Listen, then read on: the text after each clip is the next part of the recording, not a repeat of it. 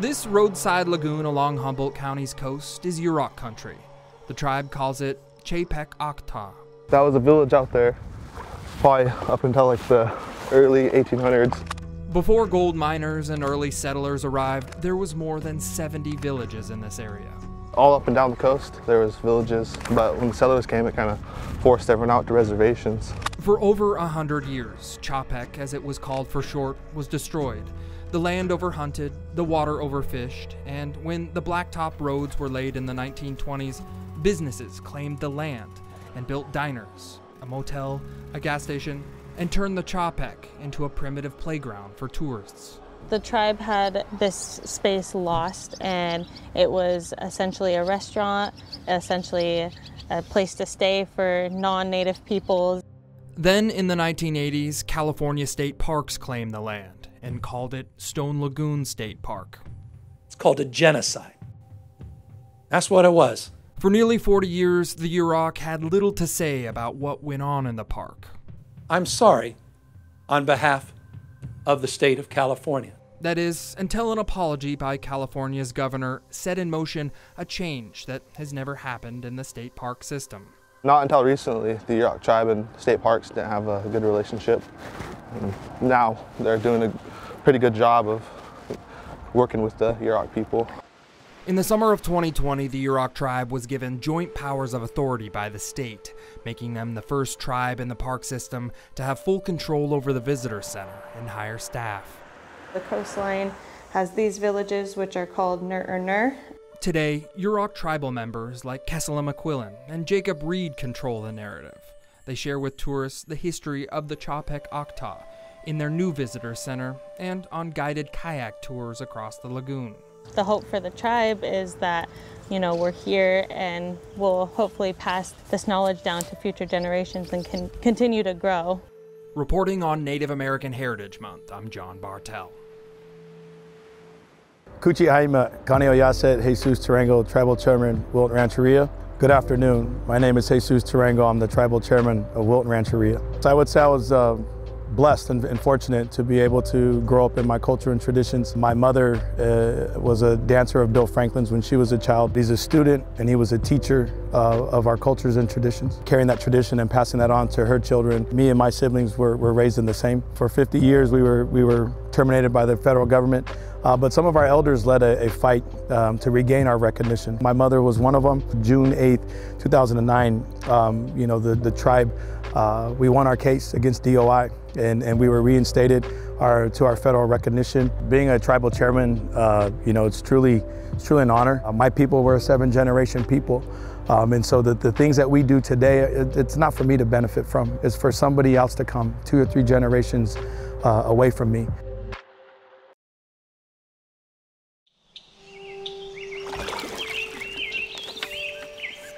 Of the more than 280 state parks in California, just one of those parks require a boat to get to. That park is Ahjumawi Lava Springs State Park. Many who visit choose to kayak or canoe, starting from a small boat ramp just outside the little town of MacArthur, It's here that a narrow channel surrounded by grass and tule plants eventually leads you to open water. Now, depending on what part of the park you want to visit, uh, you're probably going to have to paddle upwards of two miles.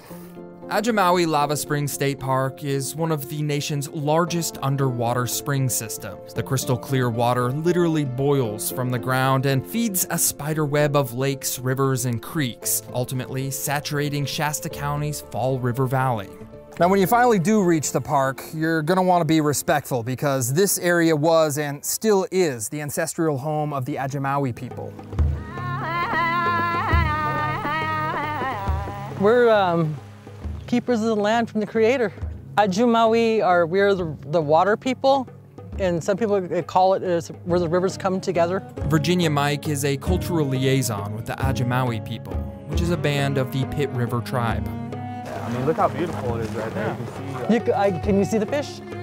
Virginia teaches younger tribe members like Antonio Mendoza about the Ajumawi culture and the importance of the water that helps isolate and protect the ancestral lands here. The importance of the water to the Ajumawi people because it's life. Without water, there's no life.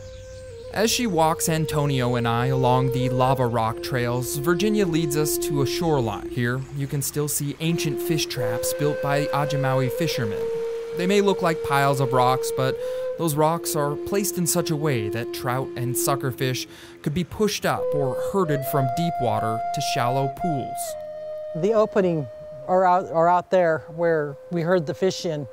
And once we herd them into that pond there, then we close it down and they are herded further in up here into the shallower areas where they're easier to catch. We are not sharing the location of these fish traps to prevent disturbance, but Virginia wants visitors to know what those traps look like so boaters can avoid them. This is what we're trying to protect because people try to drag their boats up into these traps to, to get out. And we're trying to explain to them like, you're destroying, you know, our, our fish traps. You know, this has been here for years. There's a long history of non-native people disturbing Ajumawi and Pit River tribal territory. With the help of the US military, early settlers in the 1860s forced Ajumawi onto reservations so their land could be farmed and logged. We were massacred for our land. You know, they put bounties out on our heads, you know, $100 a head. Why aren't you in here asking PG and E to leave? They're the ones that are on the land, not the Indians. By the early 20th century, much of the remaining Ajumawi land was acquired by Pacific Gas and Electric Company. They built hydroelectric dams, which ultimately blocked salmon from spawning up to Ajumawi water. In an effort to right a wrong, the government agreed to pay reparations to the Ajumawi and Pit River tribes, who had land taken from them. The money is compensation for land taken from the Indians' ancestors in 1853. Pearl and the other members of the Pit River tribe intend to refuse the checks. This 1970s documentary shows the conflicts that arose after the tribe learned they would only be paid 47 cents an acre for their land. The pitifully low price was based off the going rate for property back in the 1850s. I couldn't even buy bread at that 47 cents an acre. That's what I see right now. In 1975, California State Parks acquired 6,000 acres of private land and former Ajumawi territory and then turned it into the current day park. It's a bad type of a genocide that happened to our people. I can't change it. The only thing I can do is move forward to make, try to make things better because I have my grandkids that I bring out here. Virginia hopes that one day the ancestral land will be returned to her people but for now, she uses the park to teach the tribe's culture to younger generations. You know, it's a great honor and great priv privilege to be out here for me, you know, to learn and gain this knowledge, you know, and, and learn about my ancestors and what, what life was all about. If you visit the park, you will find campsites and barbecues, but you'll also see the remnants of a sacred land, once inhabited by the water people, the Ajumawi tribe it's a traditional place, you know, for my people. It's, it's our culture, mm-hmm. you know. We're not cattle herders, we're fish herders.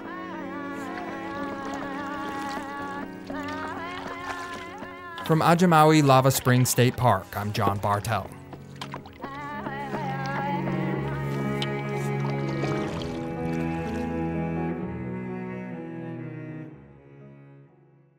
Sinthamana Wananan Kanima Kashe, hello friends and relatives.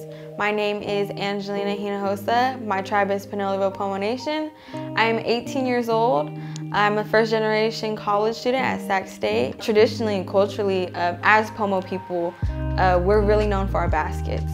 And that's something that's always been really beautiful to me. Back then, um, we used to sell them just to make a living. We still carry a lot of our stitches and just like teachings passed down. This goes actually for all tribes throughout California.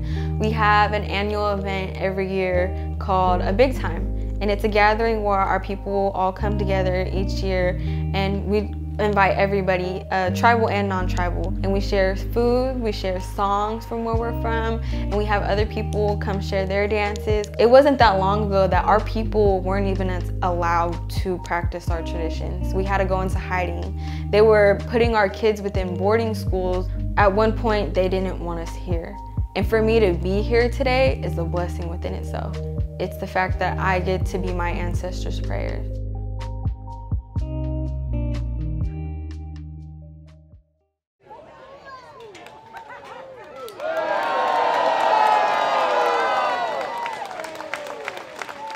For the first time, a monument honoring California Native Americans stands in Capitol Park in Sacramento. It's significant for us because representation matters. A ceremony was held Tuesday for the bronze sculpture of William Bill Franklin. Because of the works of him, you know, my, my people have their culture uh, to carry on. Bill Franklin represents the best to be found among California Native Americans. Jesus Tarango is with Wilton Rancheria. It's the only federally recognized tribe in Sacramento County.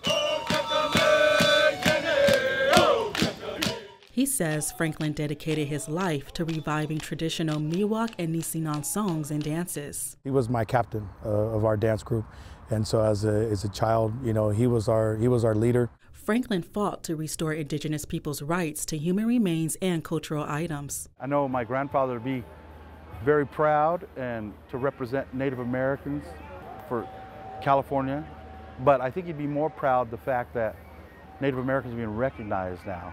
But we're here because of the resiliency of our elders. Assemblymember James Ramos is the only California Native American serving in the state's legislature. He helped pass legislation to create this monument. Now, school age children and even adults visiting the Capitol will be able to see see a California Indian person and start to ask the question, what's the true history? The monument replaces the statue of Junipero Serra. We're bringing to light the true injustice that has happened against California people. Serra was a Spanish Franciscan priest and missionary. He came to the New World in 1749 to force native people to convert to Christianity. Historians say the mission period overseen by Serra involved the enslavement and genocide of indigenous people a lot of people um, from Indian reservations, when we went to schools, um, we were forced to make and build missions uh, to learn about the missions and the Spanish exploration.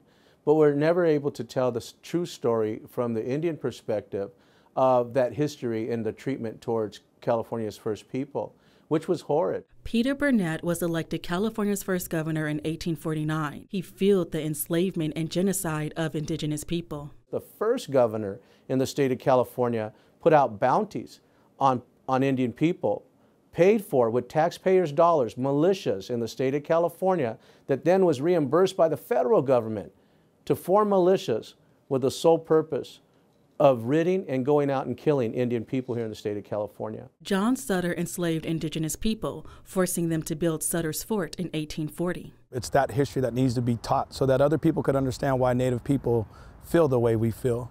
California formally apologized to Native Americans in 2019. I'm sorry on behalf of the state of California. When you talk about injustices, the Native American people have always been um, at the forefront of that injustice. In 2020, several statues in Sacramento were removed, like John Sutter, Junipero Serra, and the Christopher Columbus and Queen Isabella statues find out about those people, and then find out what, what are they being replaced with and what's the significance behind that. Sacramento City Unified School District renamed Sutter Middle School to Miwok Middle School earlier this year. Peter Burnett Elementary is now Suyu Elementary. Suyu is the Miwok name for a hawk. When you have the school name changes, it at least gives me hope that people are wanting to have that conversation about what, what really took place then. It's about coming full circle and acknowledging a horrid past so that true, true true healing can take place here in the state of California.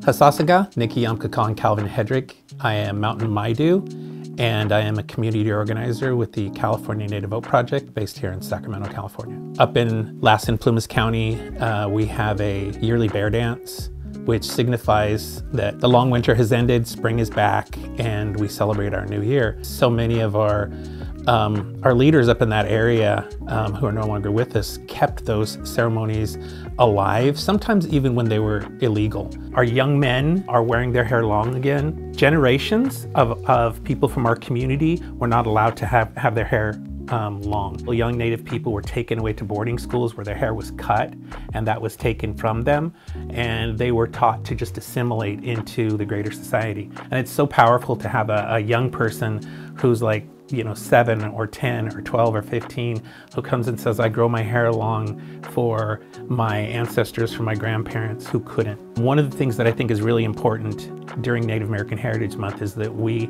um, forget talking about Native American people in the past tense. And when people said when they were here, I say we are here.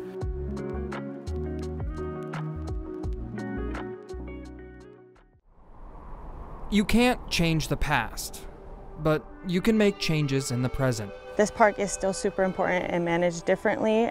And change was made here. We are walking towards Sumeg Village, and Sumeg Village was completed in 1989. Long before state park interpreter Kessela McQuillan guided visitors into this clearing of Humboldt County redwood trees, the land was called Patrick's Point, named after homesteader Patrick Beegan. He caused violence within the Yurok community. This land was Kessela's ancestral home, a Yurok tribal village, but in 1864, Patrick Beegan brought in an armed militia and massacred villagers, ultimately making more room for homesteaders to take over Yurok land. His name kind of stuck here, and so that's why it was named Patrick's Point State Park um, until it was changed. Called a genocide. That's what it was. And so I'm here to say the following I'm sorry on behalf of the state of California. It would take the Yurok tribe decades of petitioning and an apology by the governor to trigger change. But in September of 2021, Patrick's Point State Park was changed to Sumeg State Park. Today, the park is a recreation of the Yurok village and the homes that once stood here. Yurok traditional plank houses have a unique type of engineering. So the door is would actually be a lot smaller than this to keep out um, predators. After the massacre at Patrick's Point, Yurok all over Humboldt County were forced into reservations, and these traditional redwood plank houses were all destroyed. And this would essentially be where we would live, where we would spend time with our families. As reservations grew in the early 1900s, the government did their best to erase Yurok indigenous culture. Skills, lifestyles, beliefs, and languages were all nearly lost. But with the help of tribal elders, these plank houses were rebuilt to preserve the tribe's old way of living. Everything's enclosed, and you don't have a lot of natural light within your house and so here we would have the ability to take the planks off and on whenever you would you needed From the sweat lodge to the traditional dress house, visitors are free to explore the village. The purpose of Sumeg State Park is to encourage visitors to re examine our past and reflect on the suppressed culture of indigenous people. We just believe that Redwood houses us and takes care of us and helps us transport each other. So it's a very complex system that we truly believe kind of relies off of each other. I just hope that visitors understand that that this spot is special to us and this is our home and we're here for forever and we'll continue to hopefully steward these places until future generations take over that. Reporting on Native American Heritage Month, I'm John Bartell. My name is Alexandria Russell and I'm White Mountain Apache. Being a Native American elder here in Sacramento, I take pride and honor with it because it comes the responsibility as an auntie and elder to continue to share our culture, tradition, and wellness. My husband and I, Larry Russell, for over 30 years, we have been in the classroom with the Indian education and local agencies to promote and share our gift and medicine, which we call Southwest Pottery. Since we're taking the clay from the river, we have to give back. So we also teach our youth and families that when you're working with the clay and you're thinking about presenting it as a gift, you want to have that good energy. As an elder, sometimes people think this is time for retirement, but this is the time for me. We all have a role in the community, from children, youth, adulthood, and elders. And I look forward to the day I just sit down and see our youth leaders continuing maybe something that I may have started.